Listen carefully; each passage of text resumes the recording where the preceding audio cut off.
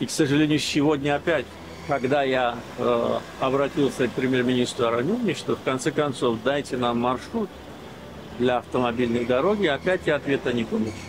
Но э, это уже становится даже, как говорится, даже не смешно, потому что э, там не такой большой участок. И все знают, откуда должна пройти железная дорога и автомобильная дорога.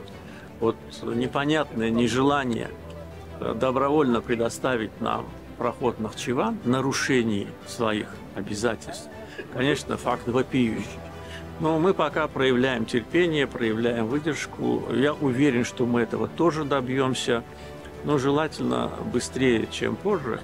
Поэтому э, комплекс этих вопросов, думаю, и будет доминировать повестку дня и э, брюссельской встречи в ноябре, которая планируется на уровне руководителей стран, и встречу министров иностранных дел, э, дата еще не определена, и встречу по э, делимитации, которая должна состояться, по нашему предложению, в этом месяце в Брюсселе.